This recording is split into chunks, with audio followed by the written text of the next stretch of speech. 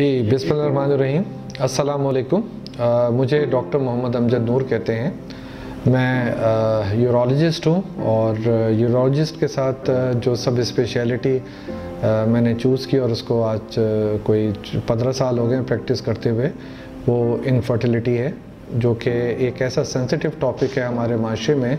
कि जिसके ऊपर बहुत सारे लोग बात करते हुए घबराते हैं। उसकी वजह चाहे कुछ भी हो। मगर जिस तरह और बीमारियों के मतलब हम बहुत ज़्यादा ओपन होते हैं अपने घर में, अपने डॉक्टर के साथ और आपस में तो मेरे हिसाब से इस प्रॉब्लम के हवाले से भी हमें बहुत ज़्यादा ओपन होना चाहिए, क्योंकि जब चीज़ें खुल के सामने आती हैं तो इसका इलाज कुछ आसान हो जाता है। जहाँ तक हम इनफर्टिलिटी की बात करें तो ये पहले कहना चाहिए कि जब तक कोई अवेयरनेस अब तो मीडिया की वजह से और बहुत सारी दूसरी चीज़ों की वजह से अवेयरनेस बढ़ती चली जा रही है। मगर शुरू के बहुत अरसे तक ये लोगों के जहन में ख्याल था कि बच्चे नहीं हो रहे तो उसका सारा दारो मदार औरत के ऊपर है। मगर अब जिस तरह वक्त के साथ साथ चीज़ें क्लियर होती चली गई हैं तो उसके अंदर अगर कोई बच्चा नहीं हो रहा तो उसके अंदर मर्द और औरत दोनों के अंदर कोई भी वजूहत हो सकती हैं, जिसकी वजह से ये प्रॉब्लम उस कपल को फेस करनी पड़ती है। और जहाँ तक औरत का इन्वेस्टिगेशन या उसका मुआयना और उसकी मुआयने से रिलेटेड जितनी भी चीज़ें वो होनी चाहिए इसी तरीके से मर्द का भी बहुत ज़रूरी है और हमें एज ए डॉक्टर या एज ए सिविल सोसाइटी इस चीज़ को प्रोवोक करना चाहिए, इस चीज़ को हमें इन्फोर्स करना चाहिए कि जब इस किस्म की प्रॉब्लम हो तो दोनों मेल और फीमेल अपना इलाज के लिए डॉक्टर के पास जाएँ। क्योंकि डब्ल्यू एच ओ भी कहता है कि 40 परसेंट जो इश्यूज़ होते हैं, वो फीमेल में होते हैं और 40 परसेंट मेल में होते हैं और 20 परसेंट जो होता है, वो कंबाइंड प्रॉब्लम होता है मेल और फीमेल में। तो इस वजह से ये सारी चीज़ें ज़रूरी हैं और मर्द के हवाले से जो बेसिक टेस्ट है, जिसको हम उर्दू में मादा तोलीद या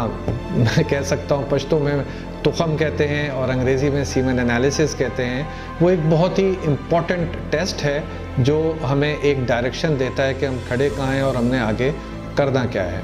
और उसके हवाले से मर्द को थोड़ा सा गाइड करना चाहिए। और दूसरा जो इम्पोर्टेंट चीज़ है, ये भी हमारे फिजिशियन डॉक्टर्स या जो मेल इनफर्टिलिटी एक्सपर्ट्स हैं, उनको भी इस चीज़ को इन्फोर्स करना चाहिए कि ये टेस्ट कब, कहाँ और किस तरीके से और कहाँ से होना चाहिए। क्योंकि नॉर्मली जो हम लेबॉरेटरी के अंदर माइक्रोस्कोप्स यूज़ करते हैं, वो सिंपल कंपाउंड माइक्रोस्कोप्स होता है कहीं कुछ इलेक्ट्रॉन माइक्रोस्कोप भी हैं। तो इसके लिए कुछ इलेक्ट्रॉन माइक्रोस्कोप या स्पेशली जो एक्सी माइक्रोस्कोप्स होते हैं, उसके अंदर जब हम इस चीज़ को इन्वेस्टिगेट करते हैं तो चीज़ें बहुत बेहतर होती हैं और एक्सी माइक्रोस्कोप जिस तरह हमारा सेंटर है कॉन्सेप्ट फर्टिलिटी सेंटर तो आइडियली ये सीमेन एनालिसिस उन सेंटर्स में होना चाहिए जहाँ पे ये फैसिलिटी जिस तरह हमारा सेंटर है, वहाँ अवेलेबल हो।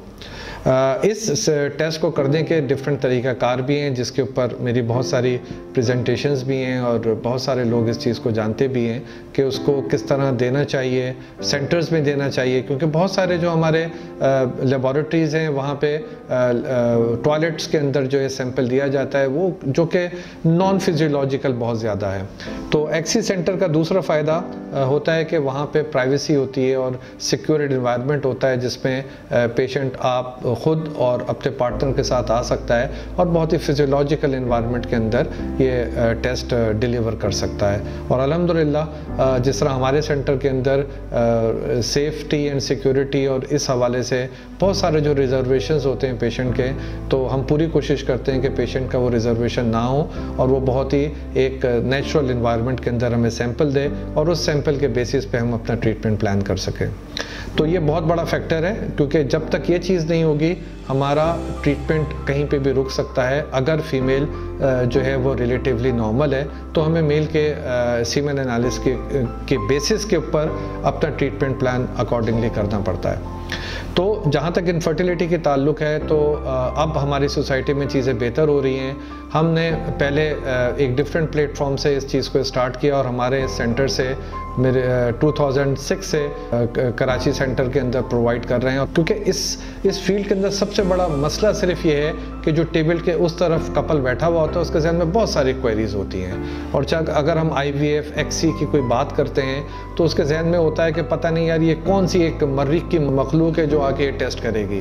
तो ये बहुत ज़रूरी है कि how you just counsel your patient के यार ये ऐसा नहीं है, इसके अंदर चीज़ें बहुत स्ट्रेट फॉरवर्ड होती हैं। ऐसा होता है कि जी, आपके स्पम्स हैं एग्स हैं, और उसके अंदर कॉन्फिडेंस क्रिएट करना बहुत ज़रूरी है कपल्स के ऊपर, ताकि वो इस चीज़ को समझें कि ये इस्लामी तौर पे या सोसाइटी के तौर पे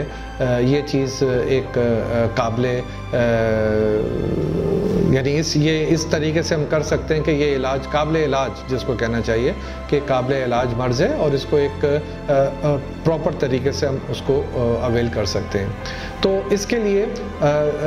जो इंपॉर्टेंट जो मैं कहता हूँ, जो बैकबोन होती है आपकी किसी भी आईवीएफ सेंटर या आईवीएफ के लिए, वो आपकी लैब भी बहुत होती है तो आपकी लैब के अंदर जो पैरामीटर्स हैं, उसके बारे में हमें बहुत ज़्यादा बहुत ज़्यादा सेंसिटिव होना चाहिए। और अल्हम्दुलिल्लाह, मैं ये नहीं कि आज इस प्लेटफॉर्म पे जो कॉन्सेप्ट का प्लेटफॉर्म मेरे साथ है और मैं उसके साथ हूँ फॉर द लास्ट 14 15 इयर्स मगर we are trying our level best कि हमारी जो लैब है, उस लैब के अंदर जो भी इंटरनेशनल क्राइटेरिया उसके हवाले से हम स्टलाइजेशन रखें, जो रिएजेंट्स होते हैं जो इंस्ट्रूमेंट्स होते हैं जो uh, और सारी चीज़ें जो इससे रिलेटेड होती हैं उसको हम अप टू द मार्क रखें कि जो uh, दुनिया में इस टाइम जो बेहतरीन सेंटर्स हैं जिस लेवल पे काम कर रहे हैं तो हमारी पूरी कोशिश है कि हम उस लेवल पे जाएँ और उस तरीके से अपनी कोशिश करें। हकीकत है करने वाली ज़ात अल्लाह ताला की है मगर अल्लाह ताला भी फरमाता है कि कम अज़ कम अपने तरीके को अपने रास्ते को और अपने तरीक़ाकार को उस तरह करो कि जिस तरह जो नॉलेज तुम्हें हमें अता की गई है। तो इसके हवाले से हमें जो फैसिलिटेशन है, जो हमारा पेरेंट सेंटर ऑस्ट्रेलिया पर्थ के अंदर है तो वहाँ से भी हमें एडवांटेज मिल जाता है कि कोई भी हमें कोई एक्स्ट्रा ऐसी चीज़ जो हमारे मुल्क में अवेलेबल नहीं है तो वहाँ से भी हमें इनपुट मिल सकती है और मिलती है और हम डायरेक्ट इनडायरेक्टली और गाय बगाए उन लोगों से अपनी इनपुट लेते रहते हैं ताकि हम अपनी चीज़ों को बेहतर करते रहें। और जिस तरह कहा जाता है कि सीखने का अमल कभी भी ख़त्म नहीं होता। इंसान सोचे कि मैं जो हूँ टॉप ऑफ़ द लाइन हूँ और मैं जो जी सारी चीज़ें कर रहा हूँ तो it is not like that तो आप किसी से भी कहीं पे भी कोई चीज़ आपको मशवरा करना चाहिए और मशवरे में अल्लाह ताला ने बरकत रखी है तो इस मशवरे को आगे बढ़ना चाहिए। और अलहमदिल्ला we have got this opportunity कि हमें आ, हमारे पेरेंट सेंटर से बहुत ज़्यादा जो है वो फैसिलिटेशन मिलती है और हम उसी को चीज़ों को लेकर आगे बढ़ते हैं और कोशिश करते हैं अपनी तरफ़ से कि जो हमारा कपल एक नाउमीदी की सौर पे आया और जिस तरह कहते हैं कि जी बच्चा दुनिया की सबसे खूबसूरत चीज़ है। और एक बहुत ओल्ड सेइंग है कि every women in this world wants her child at the cost of her beauty तो जब वो इस इमोशंस के साथ आता है तो हमारी तरफ़ से कोशिश पूरी होती है कि हम उसको कम अज़ कम उसकी काउंसलिंग और वो ट्रीटमेंट प्रोवाइड कर सकें कि जो एक आम आदमी के दस्तरस में है और बेहतर और बेहतरीन जो जो है वो ट्रीटमेंट हम उसको प्रोवाइड कर सकें जो दुनिया में अवेलेबल है। तो इन सारी चीज़ों को लेते हुए मेरी तरफ़ से और इस सेंटर की तरफ़ से और इस प्लेटफॉर्म की तरफ़ से मेरे कलीग्स मेरे सोसाइटी और सारे लोगों के लिए ये मैसेज ज़रूर है कि कोई भी प्रॉब्लम जिस तरीके से हम सारी प्रॉब्लम्स के बारे में फ़िक्रमंद होते हैं तो इस प्रॉब्लम को भी हमें फ़िक्रमंद होना चाहिए। हमें अपने स्पाउस या पार्टनर के साथ एक सपोर्टिव रोल प्ले करना चाहिए और मेल और फीमेल के अंदर ये जंग नहीं होनी चाहिए कि जनाब तुम्हारा प्रॉब्लम है या तुम्हारा प्रॉब्लम है। पूरे घर को उस पर इन्वॉल्व होकर उस कपल को सपोर्ट करना चाहिए ताकि वो आए, बेहतर तरीके से उस जगह का तयन करे कि जहाँ पे ये फैसिलिटीज़ अवेलेबल हैं। और अपने इलाज की तरफ़ जाए और अल्लाह से दुआ करे कि अल्लाह ताला उसकी जो भी ख्वाहिशात हैं उसको पूरी करे। और इस सारे तरीक़ाकार से जो हम आई वी एफ़ खैर उसकी डिटेल्स में मैं नहीं जा रहा अभी फ़िलहाल जो भी हम अगर पेशेंट जिसको आई वी एफ़ या एक्सी जिसको हम कहें, या उर्फ़ आम में बेबी टेस्ट ट्यूब कहें, उसको अगर ज़रूरत है तो अलहमदिल्ला forty to forty five percent chances होते हैं कि उसका बच्चा हो जाए। जो प्रेगनेंसी होती है उसका रेट तो इससे ज़्यादा होता है, मगर वो बच्चा माँ के पेट में नौ महीने तक परवान चढ़े, इसके चांसेस जिस तरह नॉर्मल दूसरी प्रेगनेंसीज में अबॉर्शंस होते हैं और इस प्रोसीजर में भी होते हैं, मगर अल्हम्दुलिल्लाह सक्सेस रेट उसके अंदर बेहतर से बेहतर होता जा रहा है बिकॉज़ ऑफ़ ये न्यू इन्वेंशन की वजह से। और हमारी लैब और जो हमें पेरेंट इंस्टीट्यूट से जो फीडबैक मिलता है, अल्हम्दुलिल्लाह अल्हम्दुलिल्लाह हमारी जो सक्सेस रेट है, वो बेहतर से बेहतर होते चले जा रहे हैं और हमें उम्मीद है कि जो आंदे आने वाला वक्त है, वो हमें और मज़ीद बेहतरी की तरफ़ लेके जाएगा। बहुत शुक्रिया। अल्लाह हाफिज़।